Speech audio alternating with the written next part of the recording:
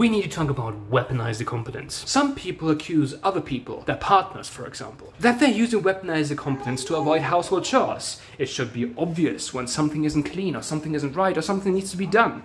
However, the thing is, men and women, for example, they have different brain chemistry. They care about different things, and as such, they notice different things. The sink is a perfect example of that. What my wife considers clean and I consider clean is different. I consider this to be clean. However, my wife disagrees. Do you know why? Well, because for her, for her the water splatters actually make a difference. For me they don't, because water dries over time, but my wife simply doesn't like them.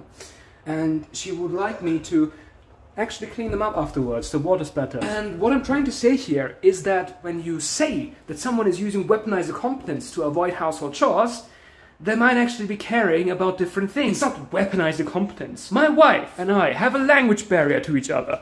She is after all from Japan. We have a ni nice little language barrier going on here. It's not so bad anymore.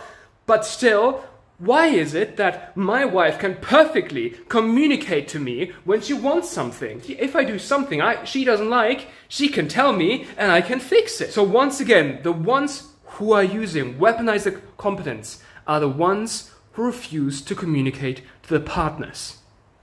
With what kind of expectation did you go into an equal relationship and then refuse to communicate to your partner? この彼女は宝物だ。